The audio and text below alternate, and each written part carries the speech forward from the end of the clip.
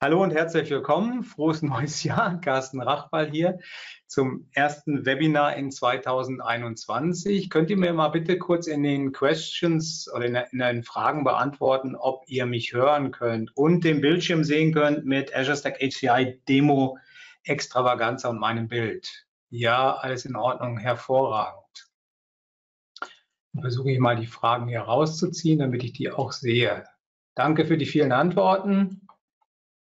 Ja, ähm, das wird ein ganz heißer Ritt. Ähm, dieses Webinar war ja angekündigt, glaube ich, für den Oktober, vielleicht sogar für den September, nachdem Cosmos Darwin ähm, uns ja die neuen Features oder Azure Stack HCI 20H2 vorgestellt hat. Mhm. Dann ist ein kleines Webinar dazwischen gekommen mit, ähm, mit Ben Armstrong und Cosmos Darwin zu äh, Azure Kubernetes Services auf Azure Stack HCI. Und danach habe ich das Webinar verschoben. Dann war, dann war der Azure Stack HCI Day und äh, deswegen habe ich es aber nicht verschoben, sondern weil mir die Demos so viel Probleme machen. Ähm, es ist ein Work in Progress. Aber schauen wir mal, wie weit wir heute kommen. Hier sind ein paar Sachen dabei. Ich habe jetzt gerade eben noch Demos vorbereitet, weil natürlich, was ich vorbereitet habe, die letzten drei Tage nicht mehr funktioniert. Und schauen wir mal. Aber erstmal, lasst uns mal reingehen in ähm, das Webinar. Und zwar ähm, zuerst möchte ich euch natürlich zeigen, ne, die, das Anlegen eines Clusters, ähm, eines Azure Stack HCI Clusters mit Admin Center und das hat auch seine Herausforderungen. Ähm, bis vor kurzem musste man das äh, 2009 verwenden, also Admin Center 2009, die Version aus dem Oktober ähm, um damit ähm, Admin Center anzulegen und dann konnte man bestimmte Sachen im Preview von 2012 machen. Aber jetzt mit dem ganz neuen Preview von 2012 geht es dann jetzt auch.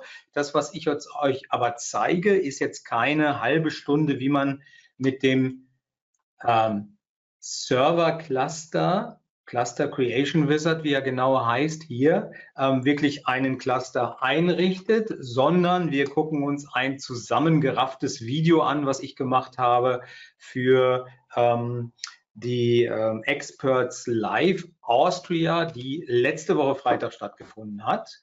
Und lasst uns gleich mal reingehen. Das heißt, hier sind wir in einem Video. Ich bin hier auf einem virtuellen Cluster und gehe jetzt in den Cluster Creation Wizard, klicke da drauf und wir haben jetzt, ich stoppe mal kurz, wir haben jetzt die Möglichkeit, sowohl einen normalen Windows Server Cluster anzulegen wie einen Azure Stack HCI Cluster. Was mich ein bisschen entsetzt in 2009, ich weiß nicht, ob es in 2012 äh, 20, in dem Admin Center 2012 jetzt auch noch so ist. Ich habe es noch nicht probiert, weil ich habe das erst vorgestern runtergeladen, dass wenn ihr Windows Server installiert, ihr Storage Spaces direkt nicht mit einrichten könnt, was mit dem Azure Stack HCI geht. Das heißt, da muss man Storage Spaces direkt dann nochmal später aktivieren. Äh, lassen wir mal das weiterlaufen. Das heißt, ich wähle hier Azure Stack HCI und kann jetzt auswählen, ob wir einen Cluster installieren wollen, der zusammensteht oder einen Stretched Cluster. Und Stretched Cluster war nicht möglich, bis ich habe es heute Morgen zum ersten Mal geschafft, mit Admin Center einen Stretched Cluster einzurichten. So, das gucken wir uns dann nachher das Ergebnis an. So, ähm, ich gehe dann hier auf Next. Wir müssen hier natürlich uns ähm, authentifizieren mit einem Domain-Admin-Account. Ich ergänze hier mal die vier Server. Die werden jetzt hier gesucht und validiert und ihr seht, es sind virtuelle Maschinen. Ähm, jetzt klicke ich das mal weg. Ähm, er sagt, okay, die sind alle in der Domäne, also wir könnten die auch in die Domäne joinen. Das mache ich nicht.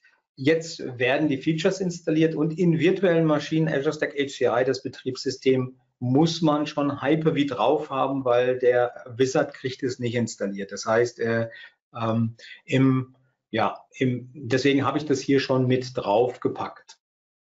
Jetzt schaut er nach, wie äh, der Update-Stand ist und hier müssen Updates installiert werden. Das kann man hier machen. Ähm, das, ich sag mal, dieser Assistent, dieser Teil des Assistenten dauert nur eine gewisse Weile. Und wenn ich hier zum Beispiel ein kumulatives Update habe für Azure Stack HCI, was ja auch die immer die neuen Versionen bei Azure Stack HCI Äh, 20H2 kommen äh, über die Update-Services, ähm, ganz normal über kumulative Updates und die dauern ein bisschen länger, so wie die äh, kumulativen Updates für Windows Server. Das heißt, hier wird der Wizard ein Timeout laufen und er wird sagen, dass er weiter installiert. Ähm, ähm, das heißt, das passiert jetzt hier mit dieser Anti-Malware natürlich nicht. Jetzt gehen wir mal weiter. Und es ist auch letzten Dienstag auch ein Update wiederum für Azure Stack HCI rausgekommen. So, jetzt kann man die Server neu starten. Das mache ich hier auch. Auch natürlich wieder im zehnfacher Zeitraffer. Also nach der Softwareinstallation, nach den Updates und dann käme noch ein Solution Update. Also wenn ihr eine Version habt von einem Hersteller, der Solutions herstellt, der würde dann auch die Treiber, die Firmware der Systeme auch updaten in dieser Solution. Dieser Schritt kam hier auch, den habe ich übersprungen, weil für die virtuellen Maschinen gibt es keine Solution.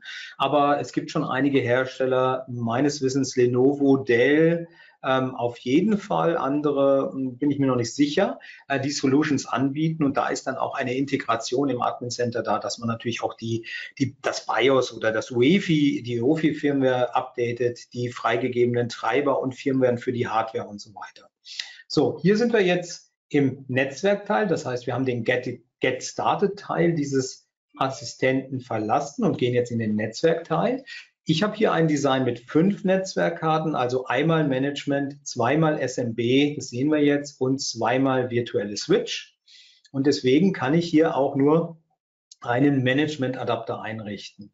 Und wir müssen einen Management-Adapter, einen separaten haben für Admin Center oder halt ein, ein Team sozusagen, ähm, damit Admin Center mit den Hosts kommunizieren kann. Wir können also nicht dieses Fully Converged Design bauen, wo wir alles über zwei Netzwerkkarten machen. Äh, das kann Admin Center momentan nicht, zumindest bisher nicht. Jetzt müssen wir mal gucken, wie es so weitergeht. So, ich muss jetzt hier alle, ähm, alle Adapter mit IP-Adressen versehen, damit, die, äh, damit er testen kann, ob jeder Adapter mit jedem anderen sprechen kann. Auch das ist Zeitraffer, also so schnell tippe ich dann wieder auch nicht, allerdings nur vierfach.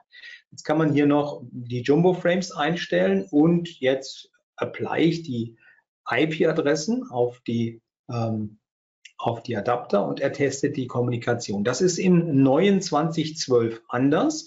Da geht das übrigens bei mir, der spätere Punkt, die Switch Creation geht in die Hose, macht aber nichts, man kann weitermachen und das hat dann trotzdem funktioniert. So, hier mache ich mal kurz Stopp. Das ist wichtig.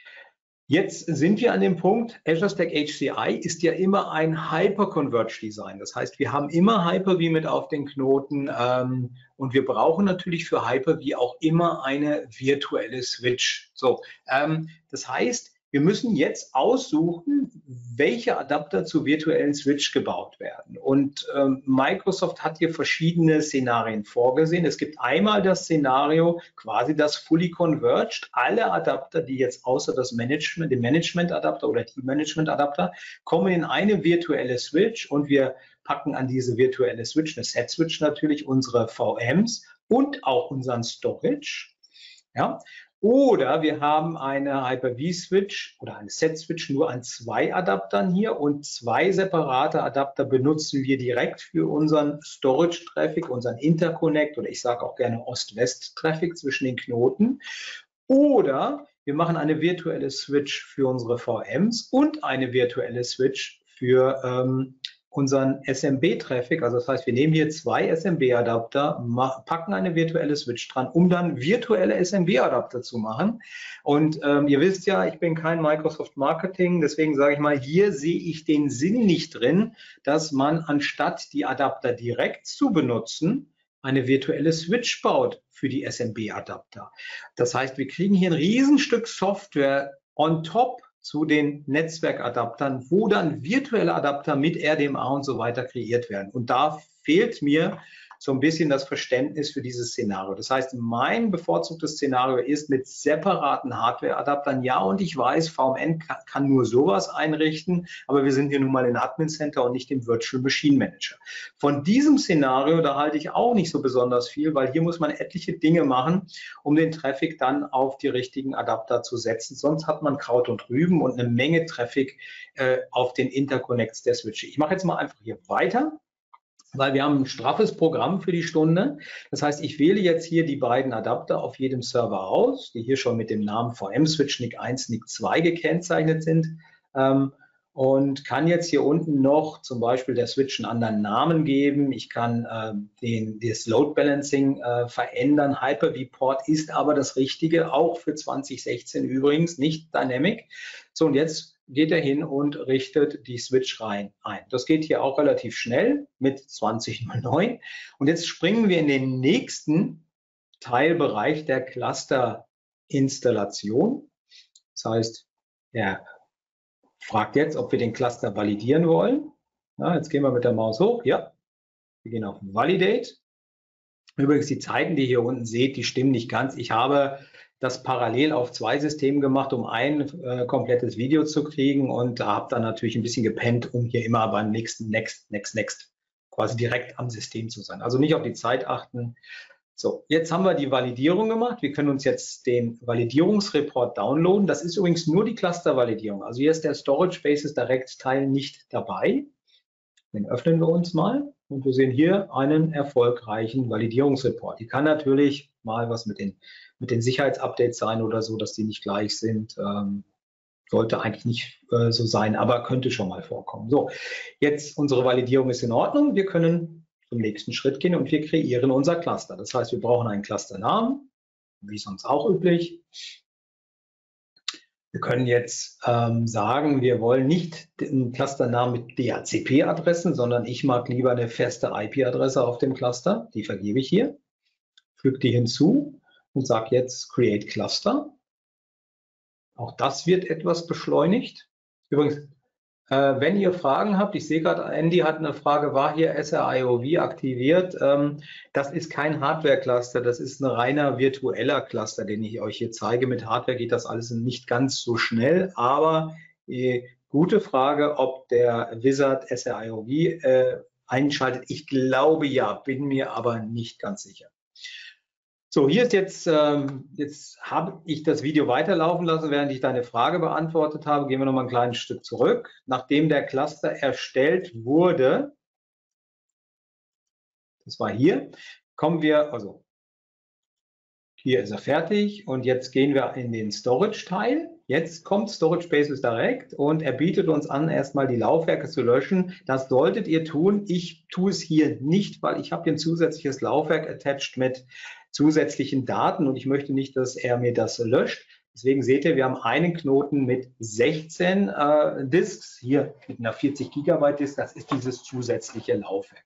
Jetzt machen wir die Validierung, die ist auch wieder erfolgreich, da können wir auch wieder einen Download, ähm, uns einen Report downloaden. Und auch da alles Paletti. Ja, wir sehen die ganzen Disks natürlich. Hier würdet ihr natürlich dann richtige Disks sehen und nicht äh, alles Virtual Hard Disks. So, jetzt enablen wir Storage Spaces Direct. Und das dauert auch ein Momentchen. Und dann können wir hier bei 2009 in das SDN gehen. Als ich heute Morgen den Stretch Cluster eingerichtet habe, ging kein SDN. Klar, Stretch Cluster unterstützt kein SDN. Ähm, sonst würde hier natürlich nochmal SDN kommen. Das habe ich ja aus dem Video rausgenommen. Ich habe auch schon mal erfolgreich SDN eingerichtet. Dazu muss man aber ein Azure Stack HCI VRDX, ein sysgepreptes Image bereitstellen äh, für äh, den Network Controller, den er mit ausrollen soll. Und das ist ein bisschen hakelig. So, jetzt gucken wir hier. Er nimmt den Cluster automatisch hier auf ähm, in Admin Center und wir gucken jetzt noch mal kurz ins Dashboard. Dauert einen ganz kleinen Moment. Und dann sehen wir unseren Cluster hier ähm, entsprechend eingerichtet mit den Drives und allem, was wir brauchen. Okay, das war die erste Demo. Ähm, die Installation oder das Einrichten eines Storage Bases Direct Clusters. Wenn es hierfür hierzu Fragen gibt, dann wäre das jetzt der richtige Punkt. Ähm, wenn nicht, gehen wir in das nächste Feature hinein. Das heißt, ähm, der Cluster Creation Wizard ist jetzt eigentlich kein neues Feature für Azure Stack HCI. Das kann äh, Admin Center, äh, konnte es zumindest auch mit Storage Bases direkt äh, auf Windows Server 2019. Momentan habe ich das Gefühl, sie haben das so ein bisschen rausgenommen. Ähm, nur es ist hier schon schön integriert und funktioniert jetzt immer besser. Sagen wir es mal einfach so. Wenn ihr euch mit dem Netzwerkdesign anfreunden könnt, einen separaten Management-Adapter haben zu müssen ähm, und kein ähm, Fully Converged Design machen äh, zu wollen oder einen virtuellen Management-Adapter an der Hyper-V Switch. Man kann ja trotzdem separate SMB-Adapter haben. Dann könnt ihr das hiermit machen und äh, man muss wirklich gucken, Andi, ob er wirklich ähm, dann äh, SRIOV mit einschaltet. SRIOV solltet ihr eingeschaltet haben bei, beim Kreieren der Switch, wenn ihr später mal RDMA in den VMs verwenden möchtet. Also mit SRIOV eingeschaltet kann man die RDMA-Fähigkeit der Netzwerkkarten, an der die virtuelle Switch hängt, in die VMs reinreichen und da nutzen. Und es gibt ja immer mehr Protokolle, die RDMA unterstützen. Natürlich SMB3 es ist aber mittlerweile auch ISER möglich, also iSCSI mit RDMA, äh, NVMe over Fabric gibt es eine Rocky-Implementierung, also da kann man auch einiges machen. So, dann haben wir das Faster Repair, also ähm, in Azure Stack HCI. Und das spielt jetzt eigentlich bei einem Zwei-Knoten-Design nicht wirklich eine große Rolle, wenn ihr nicht gerade zwei Knoten mit 400 Terabyte habt und vielleicht mit ähm, Nested Resiliency mit einem Mirror Accelerated Parity Volume arbeitet. Für die, die nicht wissen, was das ist, guckt euch mal meine früheren Webinare an. Ähm, wenn wir natürlich aber einen größeren S2D, eine größere Installation haben mit vielen Devices und ihr nutzt ein Parity-Teil, manche Kunden benutzen ja sogar Double Parity, rein Double Parity, nicht mal mit als Mirror Accelerated Parity, sondern rein Double Parity. Und wenn wir da zum Beispiel viele Knoten haben, sagen wir mal sieben, acht Knoten, dann hat ja die Double Parity auch eine höhere Effizienz. Also ab sieben Knoten hat man nicht mehr 50 Prozent Nutzkapazität im Double Parity Teil, sondern 66. Und das kommt aber auch mit einem Impact daher, ähm, dass wir länger brauchen für den Repair. Also ich habe schon Repairs gesehen, die über Stunden laufen von den Volumes, gerade wenn da einige Daten bewegt werden. Und das liegt daran, dass Microsoft ähm, mit Extends arbeitet. Extends ist die Verwaltungslogik im Storage Bases Direct, wie die, wie die Daten im Storage Bases Direct verteilt werden. Und diese Extends sind mindestens 256 Megabyte groß. Bei sehr großen Installationen können die sogar ein Gigabyte werden und Microsoft denkt darüber nach, sogar bei einer zukünftigen Implementierung, um noch größere Systeme zu unterstützen, sogar über 4 Gigabyte Extends. So in Storage Bases Direct in 2016 und 2019, wenn so ein Extend ähm, sagen wir mal, ihr patcht eure Systeme durch, dann kommt es ja zu einem Zeitpunkt, wo ihr, also wenn ihr euren äh, Storage Bases Direct Cluster patcht, dann kommt es zu einem Zeitpunkt, wo ihr natürlich einen Host rebootet. Und wenn dieser Host rebootet wird, dann ist zu diesem Zeitpunkt können die Daten nicht auf die Platten in diesem oder auf die Storage Device in diesem Host kopiert werden. Das heißt, er muss sich merken, da ist ein Extent, der gehört auf diesen Server drauf, den kann ich aber nicht drauf kopieren, weil ich die Device nicht erreiche. Also wird der Extent als Dirty markiert. Die ganzen 256 Megabyte werden als Dirty markiert und sobald der Server wieder da ist, müssen diese 256 Megabyte von einem anderen System über die Ost-West Netzwerkverbindung auf das System drauf kopiert werden. So, und das Fast Repair in Azure Stack HCI, da gibt es ein Sub-Extend Repair. Das heißt, hier werden kleinere Bereiche als die 256 Megabyte kopiert. Sagen wir mal 4 Megabyte. Ich weiß nicht, wie groß die Zahl ist, jetzt einfach eine Schätzung. Sagen wir mal 4 Megabyte. Nur 4 Megabyte kann man natürlich schneller reparieren als 256. Stellt euch vor, eine VM schreibt einen 4K-Block. Dieser 4K-Block muss auf die Extends. Wir haben einen 3W-Gespiegel, der wird in zwei Extends auf laufenden Systemen abgedatet. Auf dem dritten System geht es nicht, weil es gerade gebootet wird. Also wird dieser Extend auf dem dritten System komplett als Dirty markiert, 256 Megabyte. Bei Azure Stack HCI wird ein Subbereich markiert. So, auch dazu habe ich ein Video gemacht, weil ich mal einfach zeigen wollte, ich hatte das Gefühl schon beim Rumspielen mit Azure Stack HCI, dass es schneller ist, aber ich wollte es auch wirklich mal zeigen, weil Microsoft hat da ein paar schöne Folien vor, die sind aber schon etwas älter, die habe ich jetzt hier rausgelassen. Also habe ich ein Video gemacht und zwar habe ich mir ein vier Knoten Storage Basis Direct System aufgesetzt, das ähm, mit einer VM Fleet drin, mit äh, zwölf VM Fleet VMs. VM Fleet ist eigentlich ein Performance oder ein Messtool für Storage Basis Direct. Man kann das aber auch zum Beispiel benutzen, um eine gewisse Grundlast zu erzeugen. Das habe ich hier getan. Hier werden 300 IOs pro Sekunde von jeder VM kreiert. Ähm, und zwar 8K IOs, 70% Read, 70% Write. Das sieht man hier unten so ein bisschen in dem Watch Cluster. Das heißt, wir haben jetzt hier 8000 IOs. Wir sehen hier so 1800 pro System. Hier ist ein Ausreißer dabei. Und äh, das sieht man hier. Das sind also dann diese vier VMs mal 300 müssten eigentlich 1200 sein oder sind sogar mehr VMs. Sechs habe ich hier. Seht ihr, sechs VMs. Entschuldigung, sechs VMs macht 1800. 6 mal 300 macht 1800. Und ich habe mir hier jetzt ein Skript gestartet, wo ich mir dauernd anzeigen lasse, die Virtual Disks, die Volumes, die hier heile sind, alles super. Und die Storage Jobs, die laufen. Da jetzt aber keine Storage Jobs laufen, sehen wir immer nur die Virtual Disks. Und das ist eine Endlosschleife, die gibt das alle paar Sekunden aus. Wenn ich jetzt hier draufklicke, was mache ich als nächstes? Ich starte die Uhr und dann jetzt und dann schalte ich einfach einen der Knoten aus und schalte den wieder an. Ihr seht also, die VMs sind anmonitort. Wir sehen hier unten den Ping, der, der ist wieder da. Wir sehen, dass dieser eine Knoten hier keinen I.O. hat. Und wir sehen hier die Storage Jobs, die schon da sind. Ich mache mal kurz Halt. Ähm, wir sehen hier, dass wir die Volumes degraded sind, also nicht komplett. Wir sehen, dass er sofort Storage Jobs hat, die er anstupst. Ähm, der Host ist übrigens wieder da. Wir sehen gerade hier, dass die VMs gestartet werden. Und hier sehen wir äh, den, äh, den Watch Cluster, wie er hier anzeigt, wie viel IOs noch gemacht werden. Also die VMs laufen weiter. Das hat nicht so einen Impact. Die werden auch so um die 1800 IOs hier machen.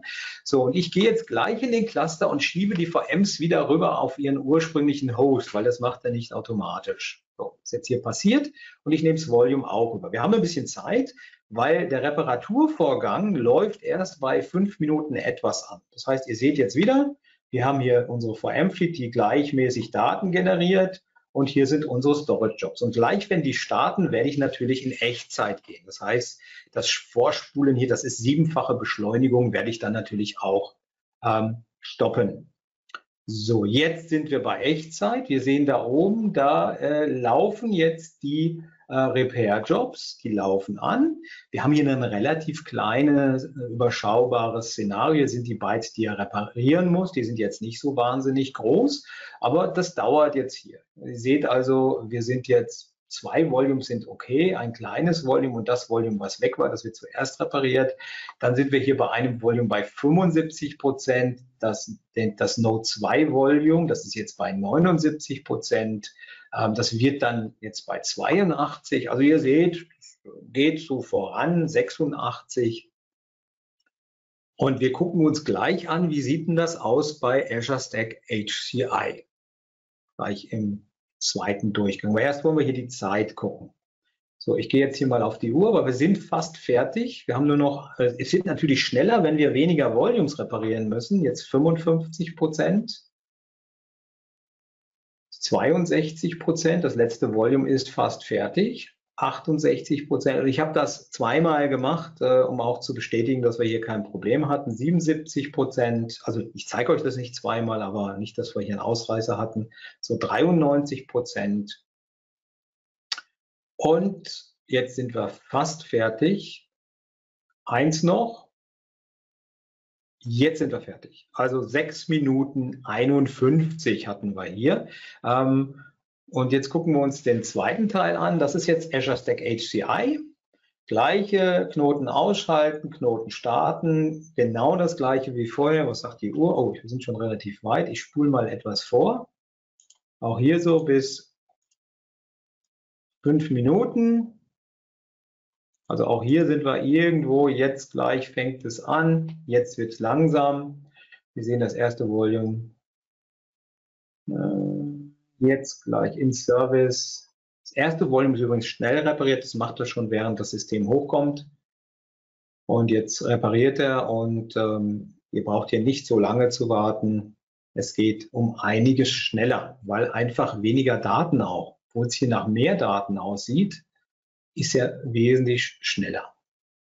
So, ich gehe schon mal hier vorsorglich auf den Lab, weil wir sind bei dem einen bei 97 Prozent, bei dem anderen bei 72, das andere ist fertig, 79, 89, 93, 99, jetzt lässt er sich wirklich Zeit. Und wir sind fertig. Also bei 6 Minuten 6 gegenüber 6 Minuten 51 und wir müssen natürlich immer noch bedenken, das fängt erst bei 5 Minuten Abyss an. Normalerweise hätte ich hier noch eine Folie, die habe ich aber dummerweise rausgelassen, wo ich die Zeiten noch vergleiche. Also der eigentliche Repair-Vorgang auf dem einen System eine Minute, auf dem anderen System ähm, 90, 95 Sekunden. Okay, das war das Fast Repair. Das sind natürlich sehr lange, ähm, sind sehr lange Vorgänge. Deswegen habe ich hier Videos gemacht. Ab jetzt gehen wir dann in die Live-Demos und ähm, da wird es dann knusprig, weil die Live-Demos laufen nicht unbedingt so smooth wie jetzt natürlich ein Video, was man fünfmal gemacht hat. Also äh, seid gespannt, es geht garantiert was in die Hose. Ähm, so, dann ist natürlich Azure Stack HCI eine Bedingung für Azure Stack HCI. Es ist ja ein neues Lizenzmodell, ist die Integration, die Registrierung euer, eures Azure Stack HCI Clusters in Azure weil Azure Stack HCI wird core-basiert pro Monat über eine Azure Subscription abgerechnet und zwar 10 Dollar pro Core pro Monat.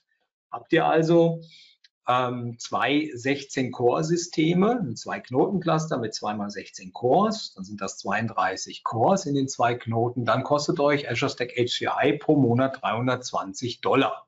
Ähm, da sind natürlich, da, um jetzt halt ein bisschen Vor- und Nachteile noch kurz darzustellen. Der Vorteil ist, Azure Stack HCI ist eine Subscription. Das heißt, ihr habt immer Anspruch auf die neueste Version. Das heißt, wenn, ähm, sagen wir mal, zu Ignite nächsten Jahres, zur zweiten Ignite nächsten Jahres dann eine neue Version rauskommt, könnt ihr die installieren. Und hier ist die Krux, ihr müsst die auch in einem gewissen Rahmen installieren, ähm, weil nicht auf fünf Jahre gesehen fünf verschiedene Versionen supported werden. So, das ist der Vorteil. In diesem Preis ist die Subscription mit drin, also immer die aktuelle Software, die neuesten Versionen. Der Nachteil ist, es sind keine Windows VMs mit enthalten, wie wir das bei Storage Bases Direct 2019 zum Beispiel haben. Da müssen wir ja die Data Center Lizenz auf den Host installieren und die Data Center Lizenz hat dann Windows Server VMs mit lizenziert. Weißt du, äh, weißt du, wie die virtuellen Azure Stack HCI Hosts abgerechnet werden? Äh, ich denke an eine permanente Demo-Umgebung. Olaf, da werde ich dich leider enttäuschen müssen. Die werden genauso abgerechnet wie die physischen. Das heißt, bei, das ist mein momentaner Kenntnisstand. Äh, auch ich habe das Problem, meine ganzen Azure Stack HCI Systeme, ich habe ja einige S2D-Systeme, weil ich auch Schulungen und so weiter mache, wie ihr wisst. Auch ich muss die voll bezahlen. Ähm, es gibt also keinerlei ähm, wie sagt man, Eval-Version. Das Einzige, was Microsoft hat, ist eine, die ersten 30 Tage werden nicht abgerechnet. Also eine permanente Demo-Umgebung kannst du knicken, aber für 30 Tage kannst du eine aufsetzen und wir sind dran, das Microsoft darzustellen, weil ähm, die ganzen Enthusiasten, die damit rumspielen wollen, das kennenlernen wollen, da kommen natürlich relativ große Kosten, relativ schnell große Kosten zusammen. Selbst wenn man so ein, äh, so ein Azure ähm, Pass hat oder so ein, so ein so ein 150 Dollar Azure Account, äh, kommt man da nicht besonders weit mit. Jetzt habe ich als MVP noch den Vorteil, dass wir eine großzügige Azure Subscription haben, die Data Center, Cloud und Data Center Management MVPs und die Azure MVPs. Ich bin ja beides, kriege trotzdem nur einmal die Subscription. Ähm, aber auch da, die ist bei so einem Vier-Knoten-Cluster mit zehn, mit zweimal zehn Cores, also 80 Cores, ist die relativ schnell weg. Dann kann man nicht viel anderes machen. Also momentan ist es so, es wird in Azure registriert. Erster Monat kostet es nichts, ab da läuft die Uhr. Ja? Und jetzt kommt das Blöde, ihr müsst den Cluster in Azure, äh, in Azure registrieren, sonst könnt ihr nichts damit machen. Das heißt, der Cluster, VMs in den Cluster nehmen kann man zum Beispiel nicht, wenn der nicht registriert ist. Und das machen wir jetzt als nächstes und das machen wir live. Wir machen eine ähm, Registrierung in äh, Demo Stretch Cluster, habe ich doch gerade schon gezeigt. Okay, da habe ich einen Fehler in der Folie. Das heißt, wir gehen mal hier raus. Ich gehe mal, das Fast Repair hatten wir doch schon. Ach, das ist mein Stretch Cluster, der da kommt. Okay, Fast Repair. Jetzt muss ich kurz gucken, auf welchem System. Äh, nee, Azure Stack HCI Registrierung. Ähm, okay, das heißt, das wollte ich auf diesem hier machen. Jetzt muss ich mich selber noch mal kurz zurechtfinden, weil ich habe natürlich wieder einen Haufen Zeug hier. So, ähm, ich habe hier, wo sehen wir den Hyper-V Manager? Ich habe hier wiederum vier ähm, Azure Stack HCI Knoten deployed, auch wenn die S2D1 Node 1, 2, 3, 4 heißen. Mein Skript benennt die nicht um. Ähm, deswegen heißen die so. Zusätzlich habe ich ein Windows Admin Center Maschine als Server und ein Windows 10 Client. So, und das ist der Windows 10 Client, das ist ein Windows Admin Center Server im Gateway Modus. Ähm, hier sind wir auf dem Host, auf einem der Hosts. Jetzt gucken wir erstmal nochmal hier rein. Hier habe ich eine Maschine hinkopiert, sehr schön. Wir gehen hier in Admin Center, gehen wir in den S2D Cluster. Ist das mein Stretched? Jo, das ist mein Stretched Cluster, den, wie gesagt, den ich heute Morgen durchinstalliert habe. Das kann man sehen, da kommen wir in der nächsten Demo dann zu, das kann man dann sehen unter den Volumes. Jetzt lad mal bitte, mein lieber Freund. Und wir sehen, der ist nicht registriert. Bisher, ich habe es jetzt nicht nochmal probiert, hier mit dem neuesten 2012 Preview von Windows Admin Center, funktionierte zumindest für mich die Registrierung über die GUI nicht. Das heißt, das muss man per PowerShell machen. Und ähm, hier ist unser Cluster mit den auch wiederum vier Knoten. Sehen wir hier vier Knoten. Ähm, wir haben keine VMs da drin, wir haben 60 Drives, wir haben acht Volumes, da sind schon einige Volumes reingerichtet. Wie gesagt, wir werden uns gleich ein Stretch Cluster angucken, das ist ein Stretch Cluster, aber den möchte ich jetzt erstmal in Azure registrieren. So, und auf den Knoten selber gibt es ein Get Azure Stack HCI PowerShell-Modul und wenn ich, oder ein Commandlet, wenn ich das aufrufe, seht ihr, der Cluster ist nicht registriert.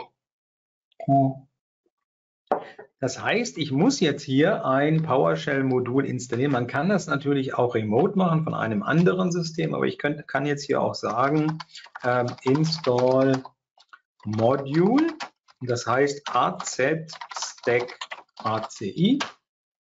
Gucken wir mal, ob er das macht hier auf dem Knoten.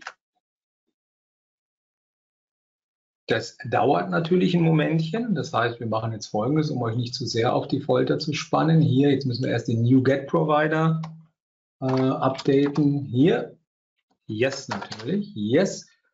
Schauen wir hier mal parallel schon mal in die nächste Demo rein. Das heißt, wir haben hier unter Volumes, seht ihr, das ist ein Stretched Cluster. Und das heißt, wenn wir hier auf die Server gehen, müssten wir das auch sehen, während ich hier nochmal Yes tippe. Wir müssen ein bisschen Zeit sparen. Wenn ich hier auf Inventory gehe, müssten wir sehen, genau, wir haben hier zwei Knoten in dem Data Center 1, HLB Data Center 1. HLB steht natürlich für Hallenberg und in HLB 2 ähm, auch ein Data Center. Hier haben wir zwei Knoten und hier haben wir zwei Knoten. Das ist eingerichtet. So, Jetzt haben wir hier das Modul installiert. Wir gehen zurück zur Registrierung des Azure Stacks. Ich sage mal get command minus Module und az stack ACI. Mal gucken, was wir da für, für ja, Commandlets drin haben. Das sind drei Stück. Register, Azure Stack HCI ist unser Freund. Register und jetzt wiederum AZ-Stack, also man ist da ganz konsistent. Und jetzt haben wir hier etliche Sachen, die wir machen müssen. Wir müssen ihm also jetzt die Subscription-ID mitgeben. Dazu wechsle ich mal in mein, dazu wechsle ich mal in mein, ja, machen wir es hier, in äh, Azure. Portal Azure.com Seht ihr, jetzt ist live. Das ist ein bisschen ruckeliger als mit den Videos, aber ich habe leider keine Videos mehr geschafft. So, ich habe hier eine Subscription, die heißt, äh, eine Subscription, eine Ressourcegruppe, die heißt RG äh, Azure Stack HCI. Ich habe hier mehrere Subscriptions. Das ist dann der Vorteil als äh, MVP. Hier haben wir jetzt mal eine Azure Free Trial. Das hat sich irgendwie über die Jahre angesammelt. Jetzt gehen wir mal hier rein und dann holen wir uns die Subscription-ID da raus. Hier ist die Subscription Copy, weil die brauchen wir hier in diese Subscription. Also nochmal Copy. Oder haben wir sie? Dann brauchen wir noch die Region. Da können wir jetzt zum Beispiel, wenn wir das unbedingt nach West Europe haben wollen, können wir das hier angeben. Resource Name, Resource Group Name wäre jetzt RG Azure Stack ACI und dann gibt es noch Computer Name und dann nehmen wir den Cluster S2D1 Cluster. Und dann gucken wir mal, ob das gut geht. Ich hoffe das sehr stark. Ja, und gucken nochmal hier uns einen anderen registrierten Cluster an. Wir hatten ja in dieser Gruppe hatten wir einen, nämlich diesen S2D4 Cluster. Bewerte das Portal mal nicht. So, momentan ist es noch überschaubar, was in Azure angeboten wird zum ähm, Azure Stack HCI, wenn der registriert ist. Also ihr seht hier, wir sehen unsere vier Knoten, ähm, die haben 64 Gigabyte RAM, die haben drei Cores. Die Cores scheinen bei virtuellen Maschinen anders gezählt zu werden. Das ist vielleicht für den Olaf interessant, weil eigentlich hat jeder von den Knoten, ich glaube, vier oder noch mehr Cores. Ähm, hier stehen jetzt nur drei drin. Also wir können das ja mal kurz nachgucken. Dieser Cluster läuft hier. Ähm, hier, nein, Nee, der läuft nicht mehr, den habe ich gelöscht aus einem anderen Grund. Okay, ähm, das sehen wir natürlich dann gleich, wenn er uns das registriert hier. Ich meine, es wären vier oder acht Cores gewesen, virtuelle Cores, die hier zugeordnet werden. Er zählt bei virtuellen Maschinen irgendwie ein bisschen anders. Vielleicht haben wir hier einen kleinen, eine kleine Sparmöglichkeit. Okay, so, Sonst gibt es hier nicht viel, es sei denn, wir äh, nehmen den Cluster in das äh, Azure Arc hinein. Äh, dann können wir natürlich die Logs auswerten, also installieren Monitoring, ähm, einen, einen Monitoring Workplace heißt es, glaube ich, und so weiter. Dann können wir hier ein bisschen mehr machen. Sagt die Uhr? 38. So, hier, das dauert noch einen Moment. Hier kommen wir gleich wiederum hin, kommen wir hierhin zurück und wir gehen jetzt in das nächste Szenario, weil das auf der Maschine auch dann weitergemacht wird. Und zwar ein Stretched Cluster. Das ist ein Thema, was gerade wir äh, Deutschen lieben oder deutschsprachigen. Ähm, ein guter Freund von mir, den einige kennen, der war früher bei ähm, der Firma NetApp und ähm, es gab das Gerücht, dass ein hoher Prozentanteil, weit über 75 Prozent der Metro-Cluster von NetApp im deutschsprachigen Raum standen. Also ein sehr hoher Prozentanteil. Das heißt, wir lieben es, es unsere Daten über zwei Brandabschnitte oder zwei Datacenter zu stretchen. Und das ist ein Thema, was ja angekündigt wurde mit Windows Server 2016, mit Storage Spaces Direct, mit der ersten Version. Sollte der Stretch Cluster funktionieren, ähm, war auch bis dahin, auch in den, in den Vorversionen, in den TP-Versionen war es drin. Äh, man hat die Feature dafür gebaut, alles Paletti. Nur dann hat sich herausgestellt, der Health Service kommt damit nicht zurecht in 2016. Man hat dann versprochen auf der Ignite 2016, dass man das kurzfristig nachliefert. Ähm, daraus ist nichts geworden. Auch in 2019, Storage Spaces Direct in 2019 ist kein Stretch Cluster vorhanden. Jetzt mit Azure Stack HCI hat man dieses Feature aber implementiert. Das heißt, wir haben jetzt ein Stretch Cluster und äh, ich muss gestehen, ähm, ich habe lange, die letzten drei, vier Tage lange damit rumgespielt, um euch das zeigen zu können. Ähm, ich habe äh, mir dann auch das WS Lab vom Jaromir äh, runtergeladen. Wer das nicht kennt, WS Lab mal eintippen. Super Umgebung. Da kann man in einem Hypervisor sehr schön die Szenarien nachspielen. Selbst wenn ihr ein Notebook habt mit Windows äh, 10 Pro oder Enterprise Edition, könnt ihr unten ein bisschen bisschen RAM und eine NVMe könnte da wirklich komplette Szenarien nachspielen. Und er hat auch das Azure Stack HCI als Stretch Cluster Szenario, aber leider habe hab ich da ein paar Fehler dran. Ich bin gerade mit Jaromir dran, das alles zu checken ähm, und war dann froh heute Morgen, als ich dann nochmal versucht habe, das mit dem neuen Admin Center zu machen, dass es damit dann funktionierte. So, und äh, wir haben also hier ein Stretch Cluster. Wir brauchen mindestens vier Knoten für ein Stretch Cluster, also nicht zwei Knoten gehen damit, äh, sondern mindestens vier. Man kann es sich so vorstellen, als wenn wir hier ein S2D äh, Storage hätten, also ein S2D Cluster mit mindestens mal einem Zwei-Wege-Spiegel oder Nested Resiliency und hier auch. Deswegen mit zwei Knoten geht es nicht, sondern vier, sechs, acht, zehn, zwölf, 14, 16 geht.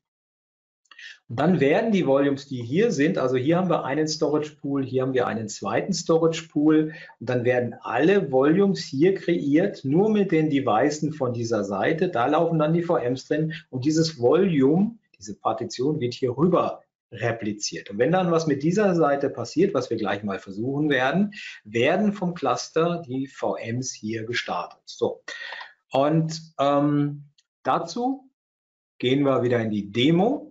Es käme noch das Demo-Fenster dazu, das habe ich euch jetzt vorenthalten. Das heißt, wir sind jetzt hier, der Cluster braucht irgendwie noch, ach, ich muss noch die Device-Authentifizierung machen, das habe ich natürlich vergessen. Ihr seht hier, ich muss ins Portal gehen, wir hier, muss, in, muss mich hier bei Azure anmelden über ein sogenanntes Device-Login. Da gibt es verschiedene Möglichkeiten. Hier haben wir jetzt den Device-Code. Wir sind also jetzt immer noch in der Registrierung. Ich bin ja schon angemeldet, er weiß das und jetzt wird der Cluster registriert. Dann geht es gleich hier weiter. So, während das weiterhin funktioniert, da können wir gleich nochmal gucken. Während das weiterhin funktioniert. Okay, ähm, das machen wir mal klein. Welche Maschine bin ich hier? Ich bin hier direkt auf dem Host. Wir haben hier, ich gehe mal in die Windows 10 Maschine. Genau, das hier ist die Windows 10 Maschine. Ähm, genau, wir haben jetzt hier in der Windows 10 Maschine, habe ich Hyper-V Manager, Failover Cluster Manager installiert. Ich habe mich hier mit dem Cluster verbunden. Ich habe auf einem der Maschinen habe ich hier einen Benchmark VM laufen und die versuche ich jetzt mal, während der Cluster noch nicht registriert ist, mal einfach reinzuziehen in den Failover Cluster Manager über Configure Role. Next. Wir gehen hier auf virtuelle Maschine. Ich sage Next. Ich wähle die aus. Ich sage Next. Ich mache das ein bisschen schneller, weil wenn der registriert ist, kann ich das tun. Wenn der nicht registriert ist, kann ich das nicht tun. Schauen wir mal, ob er es zulässt. Nein. Ihr seht also, Operation failed. Äh, der Grund ist hier nicht wirklich äh, klar. Das liegt daran, weil der Azure Stack HCI Cluster nicht registriert ist. Ab der neuen Version, die ihr runterladet, also das Image von Dezember, das finale Image von Azure Stack HCI, könnt ihr nicht mehr in dem Cluster Ressourcen betreiben, wenn Azure Stack HCI nicht in Azure registriert ist. Und das war eine, relative Überraschung auch für mich, äh, weil bisher ging das immer. Man musste ihn nicht registrieren, aber jetzt ist das der Fall. Ihr müsst ihn registrieren und sonst könnt ihr hier nichts mit den VMs machen. Das heißt, wenn der gleich hier registriert ist, kann ich diese Benchmark VM einziehen und dann können wir gucken, was wir machen. Jetzt gucken wir uns aber parallel nochmal den S2D-Cluster an. Wir gehen hier nochmal zurück. Ihr seht hier, ich habe hier jetzt ähm, vier Knoten, die aufgeteilt sind auf zwei Domänen. Wir gehen jetzt erstmal in die Drives. Wir sehen hier bei den Drives natürlich unsere 60 Drives, wovon jeweils 30 in den zwei Knoten auf der einen Seite sind, 30 in den zwei Knoten auf der anderen. Und ihr seht hier bei Kapazität, wir haben zwei Pools. Wir haben einen Pool for Site HLBDC1 und einen Pool for Site HL, HLBDC2. Und wir sehen hier unseren verfügbaren Platz in den Devices in diesem Pool. Ja, und das heißt, sie sind gleich groß, weil wir gleich große Devices haben. Wenn ich hier auf Inventory gehe, müssten wir auch bei den Devices sehen, auf, in welchem Server die natürlich sind. Hier sehen wir die. Und vielleicht gibt es noch die Möglichkeit, hier bei einem Picker noch eventuell was zu ergänzen. Nein, leider nicht. Wir nehmen nochmal die IOPS dazu. Aber hier sehen wir natürlich, in welchem Server die sind. Wir sehen hier allerdings jetzt nicht, in welchem Pool die sind. Okay, wenn wir jetzt auf Volumes gehen, hier ähm, und unter Inventories sehen wir, wir haben jetzt bereits vier Volumes. Ähm, ziehe das mal ein bisschen größer. Die Cluster Performance History, die Datenbank, wo äh, der Storage Basis Direct und auch Azure Stack HCI sein, permanent seine Daten abspeichert, wie das System performt und so weiter, die ist hoch verfügbar und wird über beide Seiten ähm, ja, gespiegelt sozusagen, einen synchronen Spiegel. Und ich habe hier ein Volume, das Collect Volume angelegt, was auch gespiegelt wird. Ähm, wir können jetzt hier auch in die Replika gehen und sehen dort,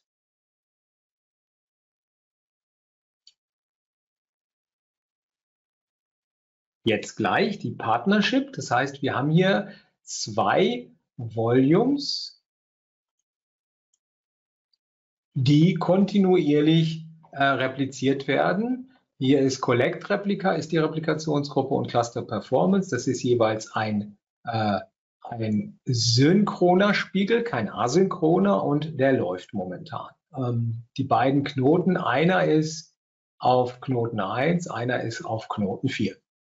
So, wir können jetzt hier natürlich auch ein neues Volume kreieren. Das gefällt mir im äh, Windows Admin Center eigentlich gut. Wenn ich jetzt auf Create gehe, äh, so wie ihr das auch kennt, kann ich jetzt sagen, ob ich ein Single Volume kreieren will, was dann nicht repliziert wird, oder ein Volume, was repliziert wird. Und jetzt muss ich sagen, von wo nach wo. Jetzt sagen wir mal von Hallenberg DC1 nach Hallenberg DC2. Ich kann mich entscheiden, ob äh, asynchron oder synchron. Wir wollen natürlich synchron. Wir können weitere Dinge angeben. Wie heißt das Volume? Ähm, wo ist denn mein Name? Den gebe ich gleich noch ein. Wie heißt die Gruppe dann? Wie groß ist das Log-Volume, ähm, was er hier automatisch mit 40 vorgibt? Gibt es schon auf der anderen Seite dieses Volume, also ist die Replikation vielleicht kaputt gegangen und wir wollen jetzt nur die Differenzen vergleichen, sollen wir den Traffic rüber äh, encrypten, dann können wir kein RDMA mehr machen, aber okay. Ähm, und hier unten ist jetzt der Name. Wir schalten das mal wieder ein. Wir lassen es bei den Default-Einstellungen. Ich nenne das jetzt nicht Volume 1, sondern SOW 1 Node 1, um das Ganze äh, VM-Feed-konform zu machen. Wir machen einen Zwei-Wege-Spiegel. HDD, wie groß soll das Ding sein? 100 Gigabyte, weil wir haben ja natürlich klein, klein. Ich gehe auf Gigabyte und gehe auf Create. Mal gucken, ob das funktioniert. So, hier sind wir jetzt mit der Registrierung fertig und ich kann jetzt nochmal die Frage, die Abfrage machen, ob er registriert ist. Und ihr seht hier, ja, ist registriert, äh, wurde am 18.01.11.44 Uhr registriert. Hier ist die URL. Und wenn ich jetzt im ähm, das heißt, jetzt meldet der natürlich auch nach Azure. Ich gehe nochmal nach Azure, gehe nochmal in die Ressourcegruppe, wo wir den registriert haben. Hier sollte er jetzt eigentlich auftauchen. Ressourcegruppen. Nehmen wir mal nochmal meine, aha, anscheinend, ach so, ich habe die in den Free Trial ange, angelegt. Okay, die Ressourcegruppe gibt es jetzt zweimal. Da ist der Cluster. Da sind wir drin. Auch hier haben wir wieder drei Cores. Äh, und jetzt können wir natürlich gucken drei Cores. Wieso haben wir hier drei Cores? Wenn ich hier auf den Knoten gehe, sage Settings, hat er vier Cores oder hat er mehr? Ich glaube, er hat vier Cores. Schauen wir mal. Prozessors. Also entweder ist das ein Fehler, weil drei hat er garantiert nicht. Ähm, brauche jetzt nur hier eine ganze Weile für das Loading, warum auch immer. Sechs Cores haben wir. Das heißt, irgendwie zählt er jetzt nur jeden zweiten virtuellen Core in Azure, was ja zumindest mal, Olaf, für dich nicht schlecht ist, dann müssen wir ein bisschen weniger bezahlen, wenn das jetzt nicht ein Fehler ist. Das muss man natürlich sehen. Okay, so, ähm, hier sehen wir jetzt die Informationen. Wir sind registriert. Wir haben es hier auch gesehen. Und jetzt kann ich natürlich nochmal versuchen, meine VM zu importieren. Das war im Failover Cluster Manager. Ich gehe also nochmal auf Configure Role. Und der Cluster ist nicht richtig eingerechnet, hat übrigens kein Witness oder so. Ähm, ich gehe also wieder auf virtuelle Maschine, gehe auf Next. Da sehen wir wieder meine Small Benchmark. Next, Next. Jetzt schauen wir mal, ob es jetzt funktioniert. Kleinen Schluck trinken. So, und als nächstes gucken wir uns dann Kubernetes, das AKS an in Azure Stack HCI. So, das sieht doch, glaube ich, ganz gut aus.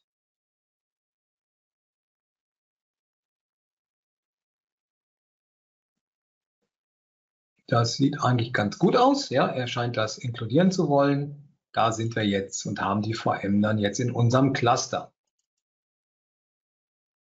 Läuft sie, läuft auf Knoten 1. liegt in Collect. Collect ist eigentlich auf der anderen Seite präsentiert. Das ist jetzt nicht so ganz so optimal. Ich versuche die jetzt mal zu verschieben. Das habe ich alles noch nicht probiert. Also ich habe natürlich schon Maschinen in diesen virtuellen Umgebungen verschoben, aber noch nicht in einem Stretch Cluster. Okay. Da die Zeit aber schon ziemlich fortgeschritten ist, äh, möchte ich euch noch was zeigen, was mich ungefähr zwei oder drei Tage Vorbereitung äh, äh gekostet hat, und zwar die Azure Kubernetes Services für Azure Stack HCI sind angekündigt worden im, äh, zur Ignite. Äh, die war ja äh, Ende, Ende September. Wir hatten dann ein Webinar mit Ben Armstrong, der offensichtlich der, der Principal Program Manager ist, der verantwortlich ist für Azure Kubernetes Services on-premise, also auf Azure Stack HCI. Äh, und jetzt kam mit einem Blogpost im Dezember raus, dass es eine neue Version gibt. Und jetzt haltet euch fest, die läuft nicht nur auf Azure Stack HCI, sondern die soll auch auf jedem Hypervisor-Cluster, also auf jedem Hyper-V-Cluster, der CSVs hat, laufen oder wird zumindest geplant. Und das ist auch zum Beispiel Storage Bases Direct. Das heißt, wir können AKS dann auch auf Storage Bases Direct installieren, nicht auf Azure Stack HCI. Und das ist natürlich ein Hammer. Das werde ich auch als nächstes versuchen. Jetzt aber erstmal auf Azure Stack HCI. Ähm, und natürlich auch auf einem Hyper-V-Cluster mit eventuell SAN Storage, weil auch da haben wir CSVs. Das heißt, Microsoft sagt, okay, unsere Azure Kubernetes Services werden wir on-premise bereitstellen für Storage Bases, also für Hyper-V-Cluster mit CSVs. Finde ich super cool. Ähm, da kommen viele Sachen und man muss einfach wissen, in Azure werden viele Services in Containern entwickelt und äh, AKS ist ja Azure Kubernetes Services. Kubernetes ist eine Container Management Cluster Plattform, die jetzt in Azure schon um einige Zeit zur Verfügung steht. Da bekommt man in Azure einen kostenlosen Kubernetes Cluster und man muss nur für die Worker Nodes, also da, wo eure Container ausgeführt werden, bezahlen, nicht für die Management Nodes. Die werden kostenlos bereitgestellt, was ein Riesenvorteil ist. Das heißt, wenn ihr sonst Kubernetes installiert, braucht ihr natürlich einige VMs für die Management Infrastruktur von Kubernetes. Die gibt es in Azure kostenlos und wird auch von, Azure, von, äh, von Microsoft gepflegt gepflegt. Also werden neue Images bereitgestellt und, und, und. Microsoft sorgt dafür, dass die läuft. Das ist ein Service. Und diesen Service kriegen wir jetzt auch on Premises. Und ähm, Cosmos Darwin hat in seinem Webinar, was oder in, in, seinem Vortrag, den er letzte Woche auf der Experts Live äh, Austria gehalten hat, gesagt, dass die Services die da kommen, kostenlos sind, so wie in Azure. Das ist Azure und äh, er hat nicht explizit Kubernetes angesprochen, aber momentan sieht es so aus, als wenn wir hoffentlich auch die Azure Kubernetes Services kostenlos bekommen. Und da in Azure viele Sachen für Container entwickelt werden, neue Services in Azure in Containern, können wir dann natürlich auch relativ einfach diese Azure Services runterbekommen auf On-Premises. Also ich bin da extrem begeistert von und deswegen beschäftige ich mich gerade extrem viel mit Kubernetes hat mich schon immer interessiert. Also Stretch Cluster haben wir uns schon angeguckt. Ja? Achso, es geht jetzt um AKS. Hier habe ich dummerweise das nicht ähm, verbessert. Jetzt muss ich mal gerade gucken. Hier ist übrigens unser Stretch Cluster. Wir haben also unsere VM, läuft jetzt hier auf 4. Und jetzt wäre natürlich mal ein interessantes Szenario, wenn ich einfach mal zwei Knoten ausschalte. Ähm, das können wir aber noch im Nachgang machen. Ich möchte euch erst AKS zeigen und vielleicht die anderen müssen dann ja wiederum vielleicht schon arbeiten und können sich dann die Aufzeichnung noch angucken, weil ich schaffe es natürlich nicht in der Stunde. So, wo habe ich das AKS installiert? Das ist, glaube ich, auf Node 3. Ups, 3. 3, 3, 3, das sieht gut aus. So, 3, den können wir mal klein machen. Wir machen uns mal, das ist jetzt WS Lab, das ist der Domain Controller. Ähm, ja, ein Shoutout äh, zu Jaromir, zum WS Lab. Es gibt da ein sehr schönes Szenario. Jetzt rufen wir uns mal den Edgy drin auf. Und zwar, wenn ihr das selber nachspielen wollt, WS Lab, das gibt es bei GitHub. Das heißt, ihr sucht einfach mal nach GitHub WS Lab und Jaromir hat hier wunderbare Szenarien bereitgestellt. Äh, wenn wir hier mal in den Szenarioteil gehen, super viele coole Sachen, die ihr relativ einfach auf einem Single Hyper-V-Server oder einer Workstation oder sogar einem Notebook bereitstellen könnt. Und hier gibt es das Stretch Cluster Szenario, das das hakelt. Hier ist das Kubernetes-Szenario und das hakelt auch etwas. Deswegen bin ich mit Jaromir zusammen ähm, ich habe das getestet und Jaromir ist super fix mit äh, Fixen für sowas. Das heißt, ihr seht hier 18 Stunden ago. Ähm, haben wir, hat er hier zuletzt was gemacht, das haben wir zusammen rausgefunden. Das heißt, ihr geht in den Dev-Bereich und hier gibt es das äh, Szenario PS1 und da ist alles beschrieben, wie man im Prinzip AKS installiert, auch mit dem, äh, mit dem Azure Stack HCI Cluster. Das ist mit dabei. Das heißt, ich habe hier dieses Szenario, äh, durchgeführt ähm, und Schritt für Schritt habe einige Dinge mit Jaromir gefunden, aber wir gucken uns jetzt das Ergebnis an. Das heißt, als erstes schauen wir mal, hey, warum lässt du dich denn nicht verschieben? Ist doch nicht gepinnt. Okay, er lässt sich nicht verschieben.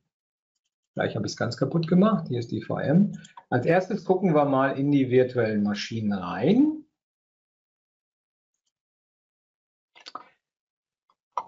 So, hier sehen wir zwei Azure Stack HCI Hosts, jeweils mit viel RAM. Also ihr braucht mindestens 64 Gigabyte RAM, weil die Systeme müssen 25 Gig ungefähr haben, 24, 25, damit äh, das AKS darin läuft. Ich habe jetzt hier mal ein bisschen geaßt, also 128 zusammen äh, vergeben, aber es, rei es, reichen wohl 24 bis 25 Gigabyte. Das heißt, für zwei Knoten plus ein paar VMs 50 Gigabyte sollten reichen. Das heißt, ich bin hier im Domänencontroller hier.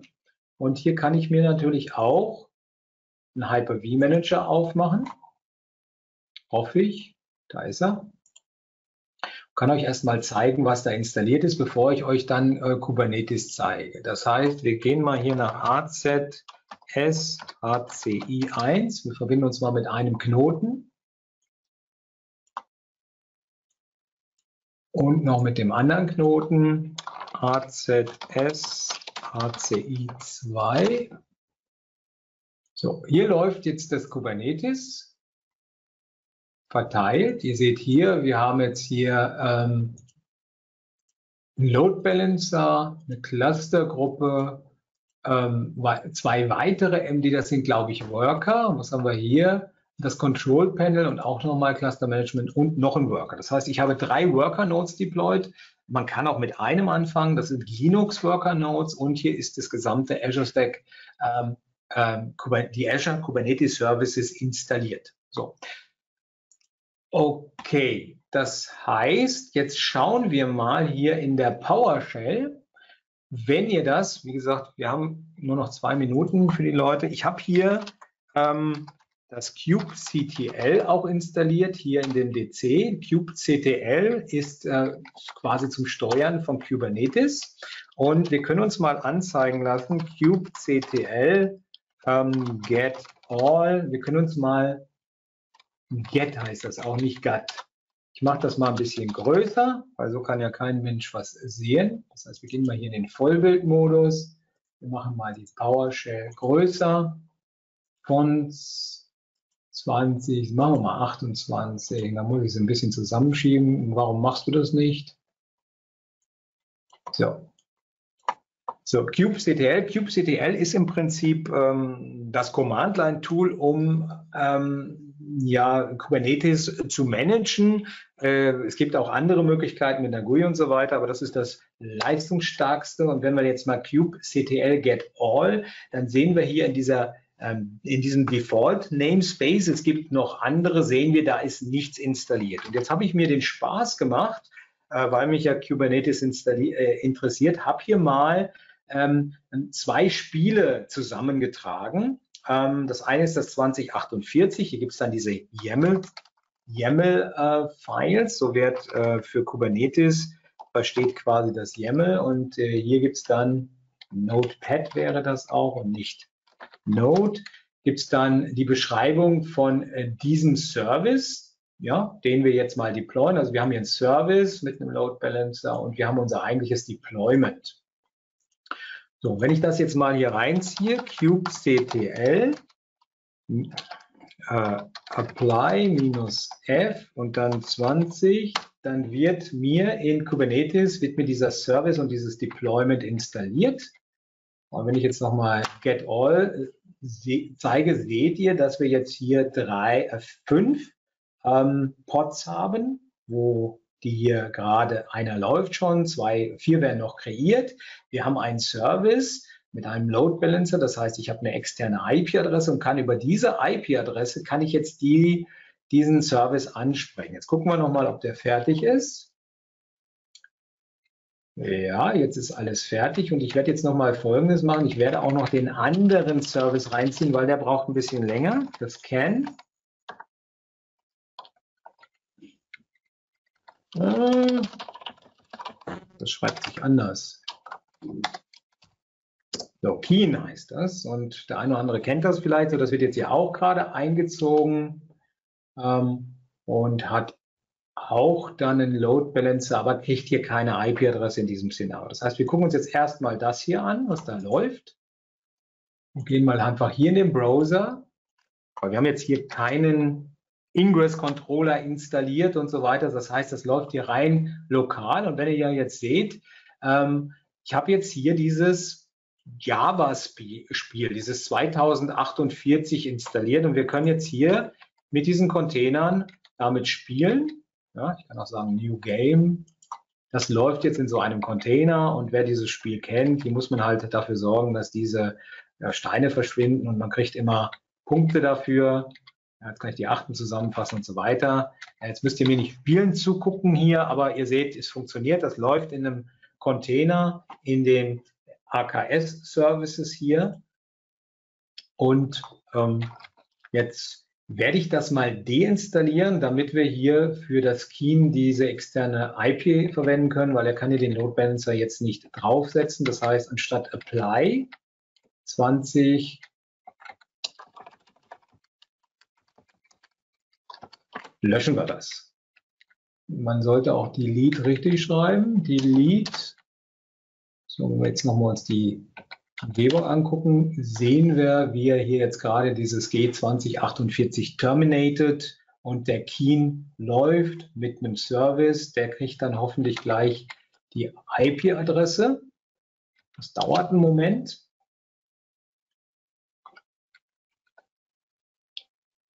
Und wenn er die hat, können wir natürlich da reingucken. Ich gehe jetzt schon mal für alle, die jetzt äh, im Prinzip sich nur die Stunde genommen haben, weil ihr werdet gerade schon ein bisschen weniger, eben durch den Rest der Folien, weil ich habe noch eine Ankündigung. Und zwar das nächste Webinar plane ich für Freitag, den 12., dass wir uns Azure Kubernetes Services auf Azure Stack HCI und vielleicht sogar Storage Bases direkt angucken.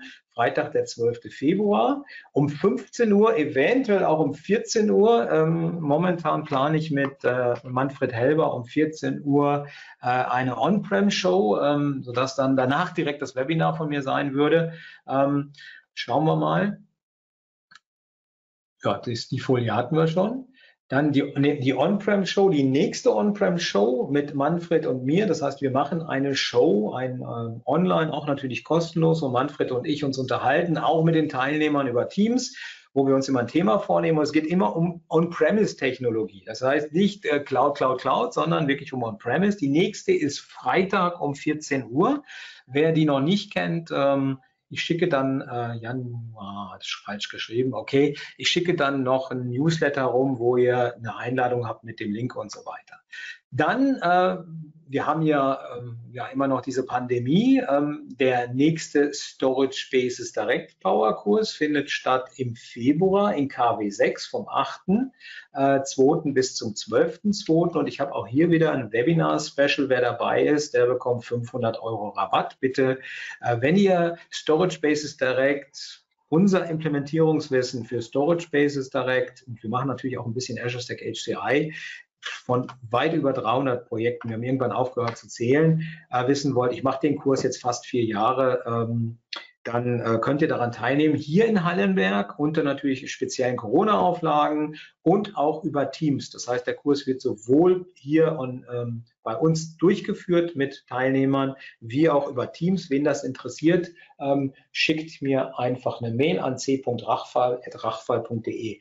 Und dann habe ich mich durchgerungen, wieder mal einen neuen Kurs zu machen und jetzt natürlich zu dem Thema Azure Stack HCI, weil hier laufen doch so viele Sachen äh, auseinander und äh, ein anderer Schwerpunkt wie Storage Bases Direct. Hier geht es mehr natürlich auch dann um die Integration ähm, in Azure, weil Azure Stack HCI wird nur auf, äh, auf zertifizierten Systemen supported. Ihr könnt euch nicht mehr selber was zusammenbauen und damit das einsetzen, weil das ist natürlich auch ein großer Teil des S2D-Kurses. Worauf muss man achten? Hier muss man fertige Systeme nehmen und deswegen habe ich gesagt, okay, wir machen jetzt einen Azure Stack HCI-Kurs. Der ist Ende März der erste, wo wir wirklich fünf Tage lang Azure Stack HCI auch mit Kubernetes, auch mit Stretch Cluster, mit Admin Center und, und, und mit Azure natürlich was machen. Und da das ein komplett neuer Kurs ist, gibt es hier ein Einführungsspecial für den ersten Kurs von 1799, also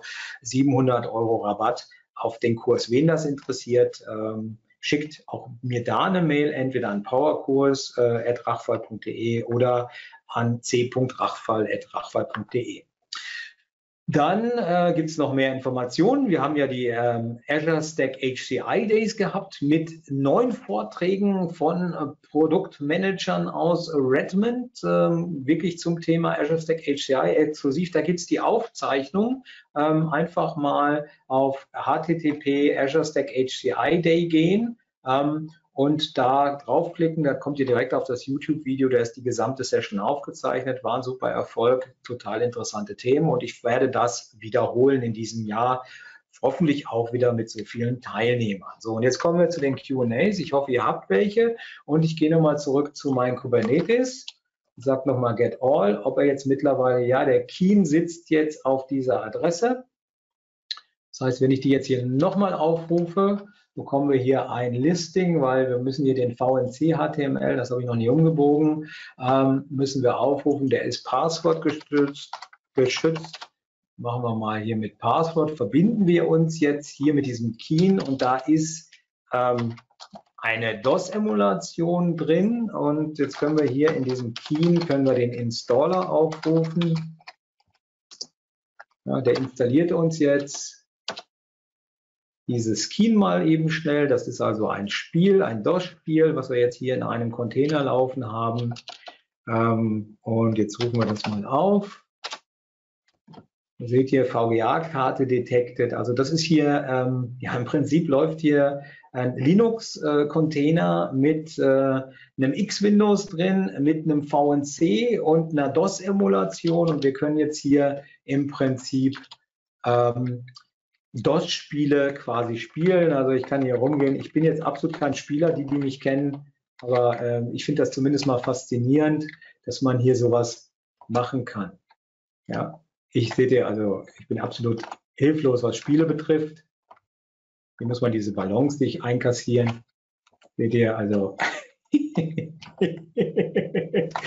habt ihr mich auch mal spielen sehen, also absolut verzweifelt. Ähm, okay, das ist das. Und jetzt kommen wir zu den Fragen, die ihr vielleicht hoffentlich habt. Ähm, es sind immer noch 111 Teilnehmer live da. Also wenn ihr Fragen habt, total gerne. Ähm, was haben wir denn hier noch?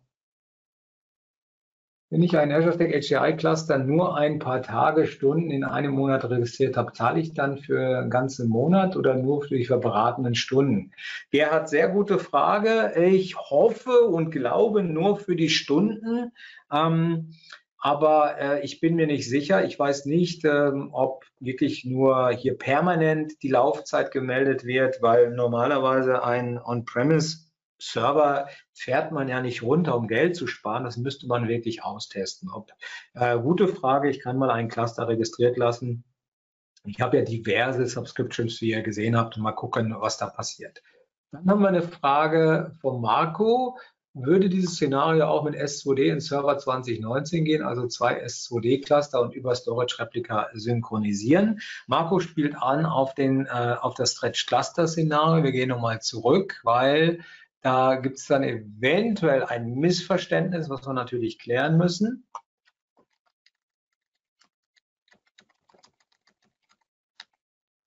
So, das Szenario. Das hier sind so gesehen, ist das ein großer Cluster mit vier Knoten, wovon zwei Knoten hier sind mit einem eigenen Pool, wo hier dann die Volumes kreiert werden. Und hier ist ein, ähm, hier sind die anderen beiden Knoten auch mit einem eigenen Pool, wo zwei Volumes konstruiert werden. Also dieses Thema geht in Storage Spaces Direct nicht. Ich kann aber sehr wohl zwei unabhängige S2D-Cluster installieren und dann sagen, ähm, hier hast du ein Volume, äh, repliziere mir das von hier nach hier und dann liegt das hier zur Verfügung, ist aber offline. So, ich kann dann dieses Volume hier online bringen, wenn hier das Desaster zuschlägt. Nur das Problem ist, da das ja nicht ein Cluster ist, weiß dieser zweite Cluster bei Storage Spaces Direct, nicht bei Azure Stack HCI, weiß nichts von den VMs, die hier laufen. Die Daten sind zwar hier auch synchron gespiegelt, aber ich muss jetzt hingehen und diese VMs importieren, damit ich die hier starten kann. Bei einem Stretch Cluster, wie wir den hier sehen bei Azure Stack HCI, ist das ein Cluster. Jeder Knoten hat eine Kopie der Cluster-Datenbank und weiß, was hier läuft. wenn diese Seite offline geht, werden diese Volumes hier automatisch online gebracht und dann kann er auch die VM starten. Das ist der Unterschied. Wir haben hier einen richtigen Stretch Cluster. Wir können natürlich auch die Storage Replika in Windows Server 2019 Data Center auch um einsetzen, um zwischen unabhängigen Storage Bases Direct Clustern zu replizieren. Ja, und ich habe ja gesagt, ich könnte euch noch zeigen, was passiert. Also das ist jetzt hier dann auch noch nicht getestet. Aber wenn ihr noch weitere Fragen habt, tippt mal bitte rein. Ich werde jetzt hier einfach mal den S2D Cluster mal einfach zwei Knoten das ist ja hier der Stretch Cluster, werde hier einfach mal zwei Knoten ausschalten. Dazu gehen wir in den Failover Cluster Manager. Wir sehen hier, die läuft jetzt auf dem Vierer. Hier sehen wir die Knoten. Äh, ich habe kein, ich habe dummerweise kein, ähm, kein Witness konfiguriert, also schiebe ich mir den VM wieder rüber. Ich will ja eine ganze Seite ausfallen lassen und da muss ich natürlich die Seite ausfallen lassen, wo eine Stimme weniger ist. Also schieben wir es zurück auf den Einser. Das ist, wenn man es nicht hundertprozentig zeitlich präparieren konnte. So, wir schieben es auf den Einser. Da läuft jetzt diese Benchmark VM, die hier drin ist. Die wird repliziert. Wir weg. Hier ist sie drin. Die erzeugt jetzt kein I.O. Ja, die läuft einfach nur. Und jetzt schalten wir mal einfach zwei Knoten aus. Und zwar den Einser und den Zweier. Gehen einfach mal hier hin und sagen Turn off. Das heißt, unser Data Center hat jetzt Stromausfall. So, jetzt ist die Frage, Failover Cluster Manager. Wie sieht es mit unserem Storage aus? Hier sehen wir die Disks einen Haufen Disks. Hier müsste er das eigentlich jetzt gleich mitbekommen und müsste dann auch äh, was mit den Volumes machen. Und dann auch im Endeffekt, wenn die Volumes dann entsprechend geschwenkt sind, weil wir haben hier immer noch die Volumes auf Knoten 1. Die VM liegt hier in dem Collect. Jetzt passiert was. Das Collect ist jetzt schon auf Knoten 4, wird da online gebracht mit dem Log. Also er switcht gerade, bringt also die Volumes online auf in dem zweiten Teil des Clusters auf Knoten 3, 4. Was ist mit meiner Rolle? Die ist unmonitort. Auch da müsste gleich was passieren. Dummerweise haben wir jetzt auch noch die vier Minuten, die der Cluster uns da in die, in die Quere spuckt. Ah, dazu hätte ich das natürlich auch runterstellen müssen, aber zumindest mal sind die Volumes schon mal gedreht. Und ich denke, er wird dann auch nach einer gewissen Zeit, wird er auch die VM online bringen. Das dauert leider mit den Standardeinstellungen, die ich hier nicht verstellt habe, die Cluster Resiliency sozusagen, dauert das vier Minuten, bevor er die VM anpackt. Und die haben wir natürlich in dem Live-Webinar eher weniger. Weitere Fragen? Wenn ihr noch Fragen habt, bitte hier rein. Sonst, äh, wie gesagt, bei Azure ähm, ähm, AKS auf äh, äh, Azure Stack HCI und Storage Bases Direct gibt es ein Webinar nächsten Monat. Ähm, wie gesagt, ich beschäftige mich gerade intensiv mit Kubernetes. Da gucken wir uns natürlich dann auch an, wie das Ganze in Azure registriert wird mit dem Azure Arc und mit dem Monitoring und so weiter. Und wir zeigen ein bisschen mehr sicherlich zu Kubernetes. Okay, wenn keine Fragen mehr sind, dann bedanke ich mich bei euch für die Teilnahme. Ähm, wünsche euch ja, eine schöne Woche und äh, wir sehen uns dann hoffentlich demnächst hier irgendwie. Tschüss!